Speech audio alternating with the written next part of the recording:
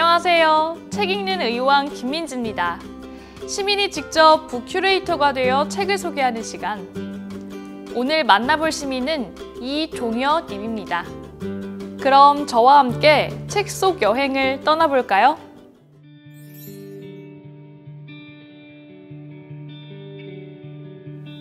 안녕하세요. 저는 그림책을 좋아하고 아이들을 좋아하는 이종여입니다.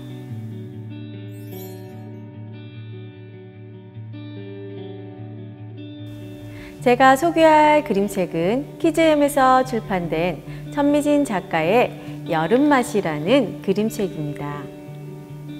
이 책은 가로 길쭉한 판형이라 마치 파노라마 view 같은 느낌이며 여름이 되면 만날 수 있는 자연 풍경과 놀이 등을 맛으로 표현했어요. 또 글이 시처럼 지나가며 글과 그림이 잘 어우러져 여름에 대한 밝고 청량함, 즐거운 느낌을 잘 살려주어서 보면 볼수록 또 보고 싶어지는 매력적인 그림책입니다.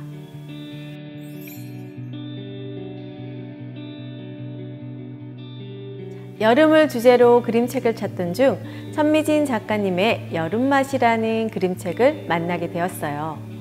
저는 여름하면 먼저 떠오르는 것이 뜨겁고 덥다인데 과연 여름은 어떤 맛일까? 궁금증을 안고 책장을 넘기는데 책 속의 그림만 보고 있어도 벌써 여름 맛을 느낄 수가 있었어요.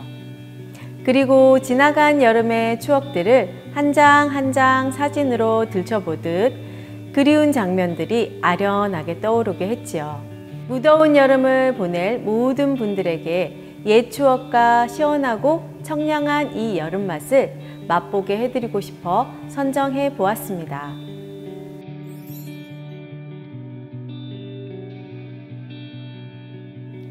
너와 함께하는 이 여름은 하나도 잊고 싶지 않는 매일매일 아까운 맛.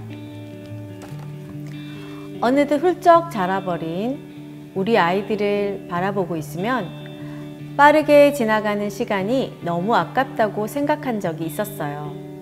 그래서 너무너무 아쉬웠는데 그 잊고 싶지 않는 마음과 그 추억의 시간을 매일매일 아까운 맛이라고 표현한 것이 마음에 와닿아 이 장면이 좋았습니다.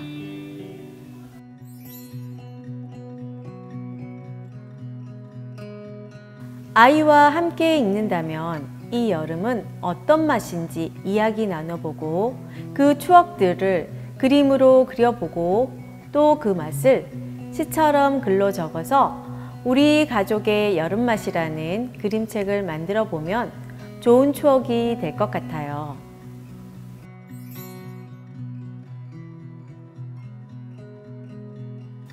제가 추천하고 싶은 또 다른 그림책은 위를 봐요 정진호 작가님의 나랑 놀자입니다.